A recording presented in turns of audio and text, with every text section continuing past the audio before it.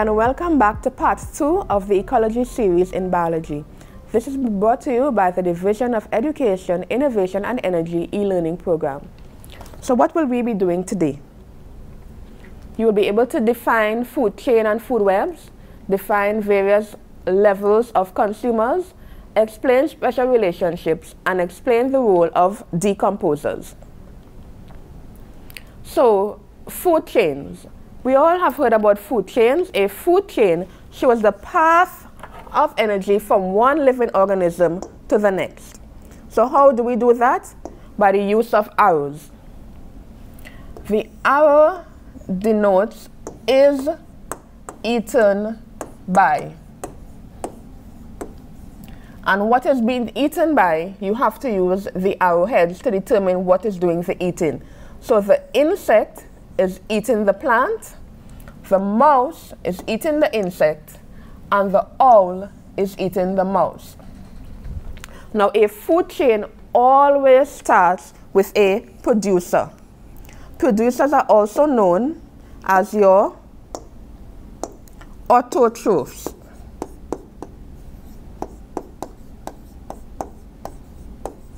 These are the plants and animals that make their own food. So they always start your food chain. So everything else in your food chain beyond the producers would be considered consumers. And we have different levels of consumers. The first or primary level, that stands for primary, would be your herbivores. Your herbivores eat only plants. So your sheep, your goats, cows, etc., that are your primary consumers or your herbivores. The secondary level or secondary consumers can either be a carnivore or an omnivore. An omnivore is an animal that eat both plants and animals. So omnivores include pigs, mouse, etc. Humans are also omnivores. We eat both plant and animal. And then your tertiary and depending on the size of your food chain, you can have quaternary. These tend to be only carnivores. Carnivores eat only meat. So here you have a simple food chain showing four levels from your producer to your top predator in this particular example, which will be your owl. So your food chain is an unbroken link that is not usually longer than five or six organisms. And it shows the path that energy takes from one organism to the next. So the insect is going to get energy from the plant. That energy is going to be passed on to the mouse. But the mouse will not get all the energy that the plant provided the insect. So you have a decrease in energy flow as you move down a food chain. Because, for example, the owl is not going to get all the energy from the mouse because the mouse will use some of its energy to, to grow, to find a mate, to find food. So it is using its energy as it survives. So when the owl eats the mouse, it's not going to get all the energy from the, when the owl eats the mouse, it will not get all the energy from the mouse, and so forth and so forth. So energy decreases as you go down a food chain. Now here is a food web. A food web is made up of several interconnecting food chains. So here we have, I'll show you the pathway of one food chain. So we have grass eaten by grasshopper, which is then eaten by an owl. So that is one food chain. Here is another.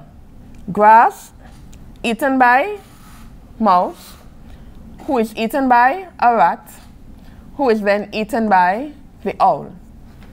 So that's a second food chain. Another food chain, we have grass eaten by rabbit, which is then eaten by the owl.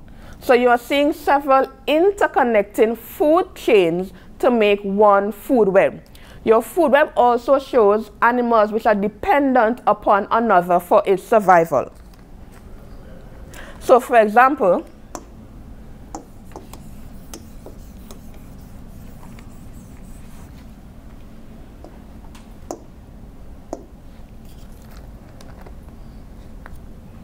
this snake is dependent upon this rat for food. However, this mouse is dependent upon grasshoppers and mouse for food. So you're seeing that the snake and the rat are dependent upon different organisms for their survival. So your food web shows several interconnecting food chains and shows several layers of interdependency. Here is a forest food web. Now these are not organisms found locally, but your syllabus does require you to show knowledge of not just local animals. So we have, for example, grass eaten by deer, which is then eaten by a coyote. Another food chain, grass, eaten by squirrel, eaten by coyote. Let's look at this squirrel. This squirrel is eaten by a coyote. It is also eaten by a hawk.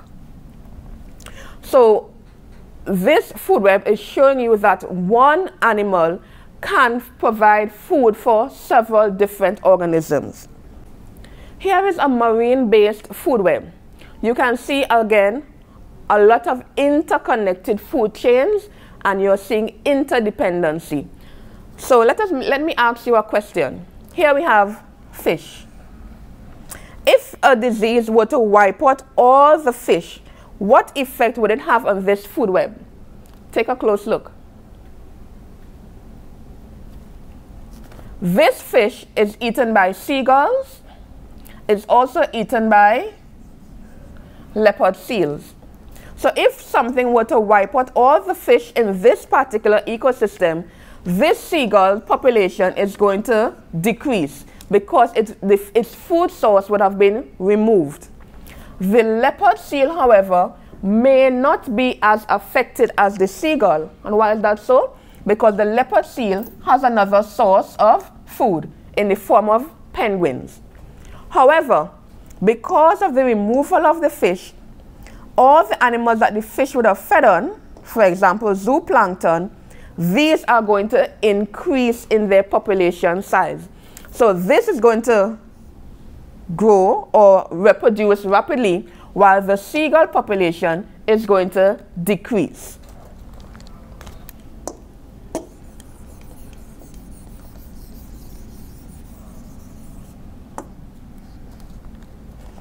Another question. Can you identify two different competitors in this food web? Look here. We have the penguin and the elephant seal both competing for squid. This is the food source of both the penguin and the elephant seal. There's another one. We dealt with it earlier. Here is the fish. The leopard seal and the seagull both compete for fish. Here is another food web. However, I personally consider this a very bad example of a food web. And why do I say that? If you look closely here, we have the carpenter ant, an aphid which sort of resembles a grasshopper, and caterpillar they, based on how this one is drawn, it appears as if the ant is just a producer, which we know it is not. So your food web must start with a producer, food web or food chain. So if we were to draw the ant eating the fern, likewise the aphid feeding on lichen or even on fungi, then it will now be a complete food web. So remember, your food web must start with a producer, anything that can make its own food. Likewise, we'll put the caterpillar eating an acorn. Okay, so based on this food web now that it is complete, I want you to determine a predator and a prey. P-R-E-Y, prey and predator. So a predator is the animal that does the hunting and the prey is the animal that is hunted. So in this example, for example, the cougar would be the predator because it is hunting squirrels or it is also hunting mountain beavers. So you have to know various characteristics that allow for predators to be successful in their environment as well as for prey to be successful in their environment. Because a prey has to find means of preventing themselves from becoming someone's lunch. And the predator has to be effective in hunting to be able to find food for survival. So for example, the cougar may be quite swift. It has large canine teeth for ripping through flesh. It has the ability to camouflage among maybe um, dried grass. This flying squirrel, because it can fly, it can escape quickly from its potential predator, or because it is much smaller, can find ways to hide that will prevent the cougar from finding it. So every organism is specially adapted for its environment, either as a predator or a prey. I would just like to point out one other thing.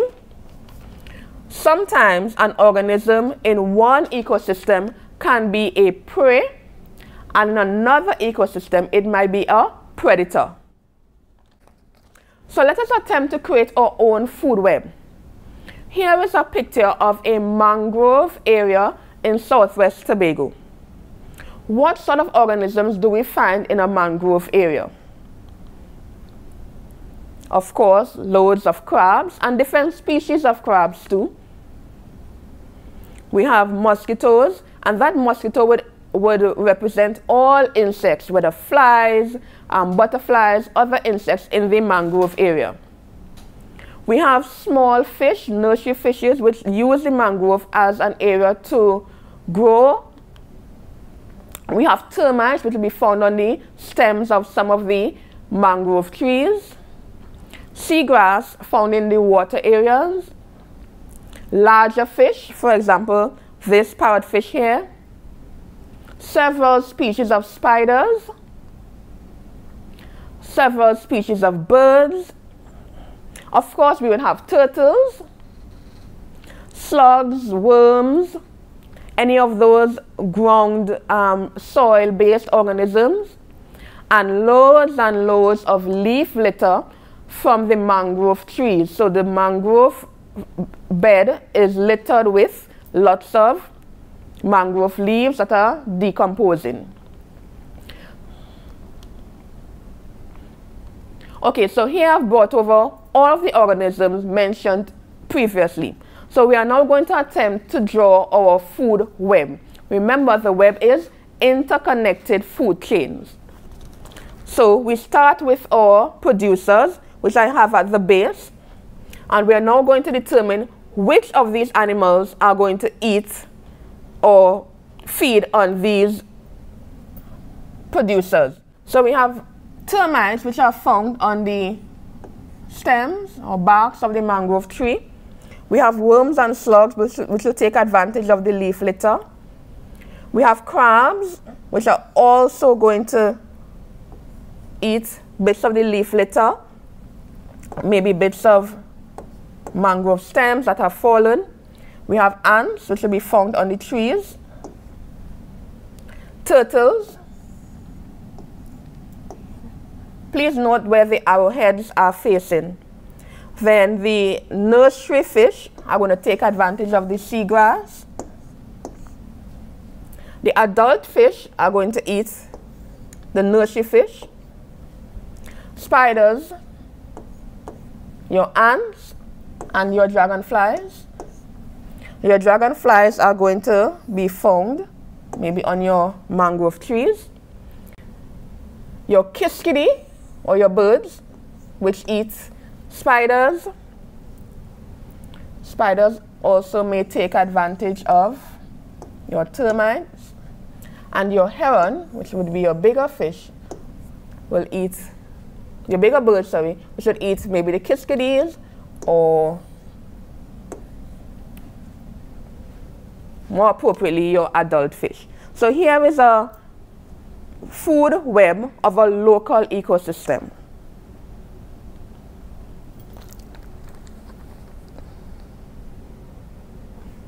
So now we want to look at the words trophic levels.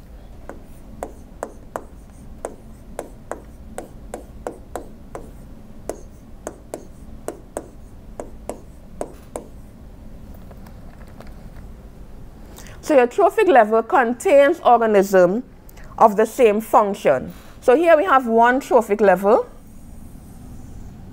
which contains all of your producers.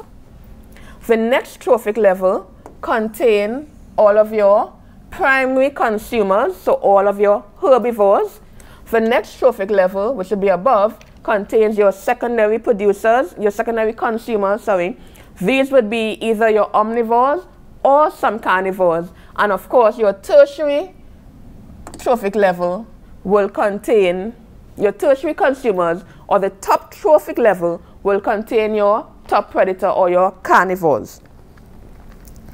Now the size of the bar determines maybe the number of organisms in that particular environment or it may determine, it may show the mass of the organisms in that particular environment. So most pyramids do have this particular shape. However, sometimes your pyramid may take an inverted shape. So let us say hypothetically we have one mango tree. So it's one mango tree. So the base is very small, but that one mango tree may have 25 parakeets, some small type of bird and then that mango tree may have three snakes.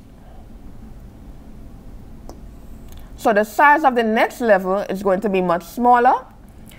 And then that mango tree may also have one owl. So here we have an inverted pyramid based on the particular ecosystem. In this case, we have an arboreal or tree-based ecosystem. Now we want to look at the function of decomposers. These are very, very important in every single environment. So decomposers are usually organisms, mostly bacteria or fungus, that feed on dead complex organic matter and turn them into simple organic matter. Usually, these nutrients are released into the soil.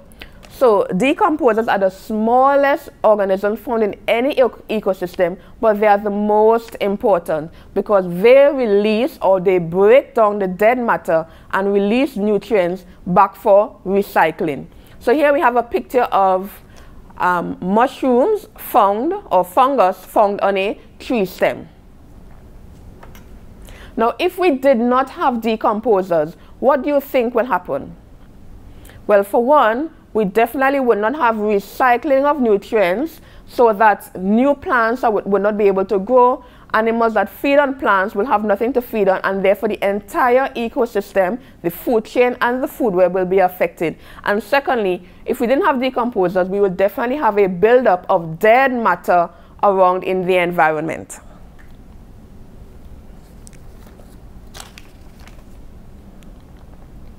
Finally, we want to look at symbiosis. Symbiosis is a long-term, close relationship between two or more organisms.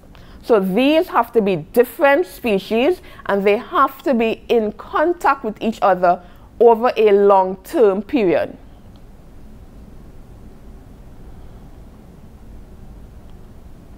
So we have three types of symbiotic relationships. It can either be parasitism, commensalism, or mutualism. And let's go through each of them. In one instance, you can have a relationship where one organism benefits from that relationship and the other is harmed. What do you think that one will be? Parasitism, commensalism, or mutualism?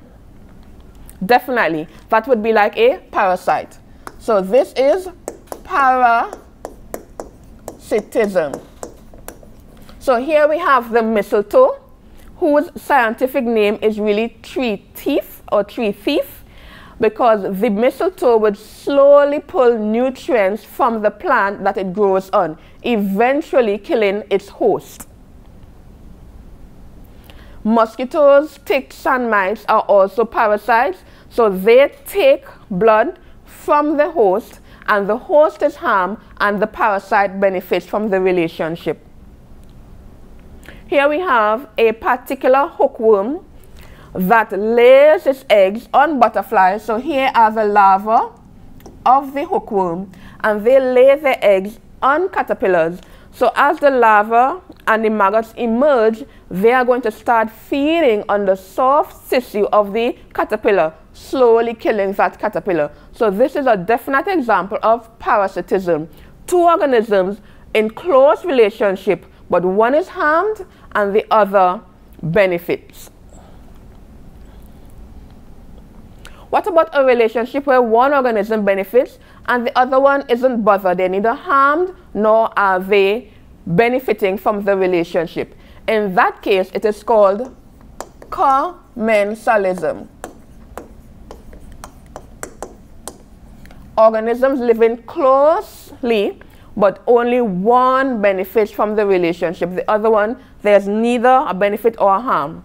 So, for example, we have these um, prison fish, um, pilot fish, sorry, that swim very close behind or to the side of a shark.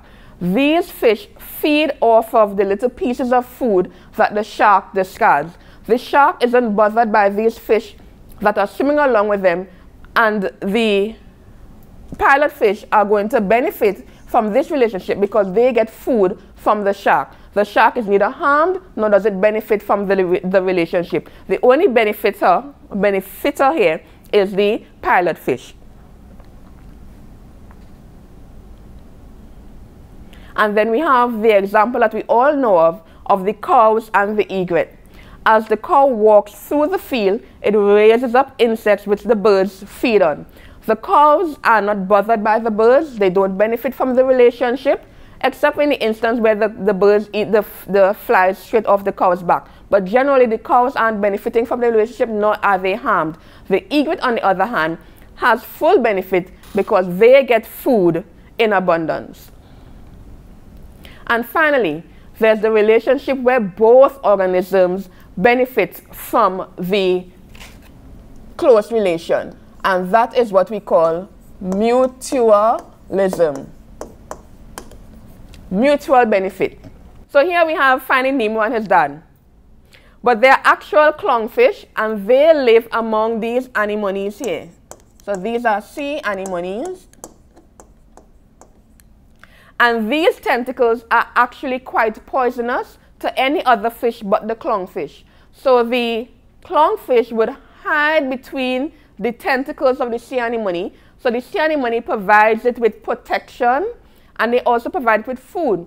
The anemone benefits now because the clownfish is going to eat and remove algal growth from within the tentacles of the fish, of the sea anemone, and they also lure other fish which get stung and the clownfish will benefit from that. So the both organisms benefit from the relationship together. So let's go that again. The sea anemone gets cleaned and it gets rem so removal of algal growth from the sea anemone and the sea anemone also gets waste nutrients from the fish. So as the fish defecates, the anemone is going to use that in its development. The clownfish gets a home, it gets protection, and the clownfish also helps to lure fish in that are then eventually stung by the tentacles of the sea anemone. And of course, we have butterflies and flowers. How do they benefit each other? The butterfly gets nectar and the flowers gets their pollen transported to another flower for pollination.